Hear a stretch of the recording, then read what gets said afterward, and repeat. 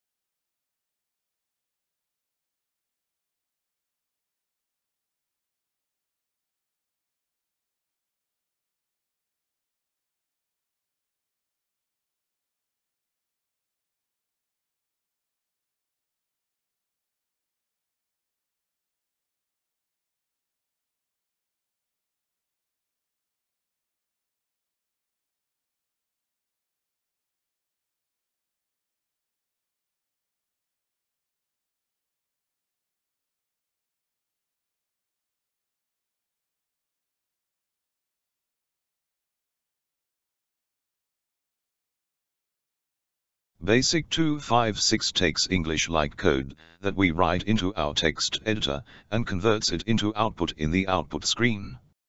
A compiler is primarily used for programs that translate source code from a high-level programming language to a lower-level language, such as machine code, to create an executable program that will create output.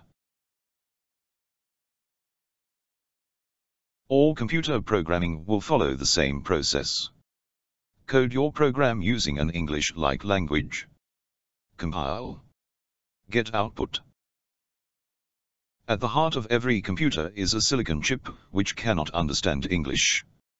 A compiler will take the English-like coding language of our program and convert it into a lower-level language, such as machine code, represented by ones and zeros, to create an executable program that will create the output we desire.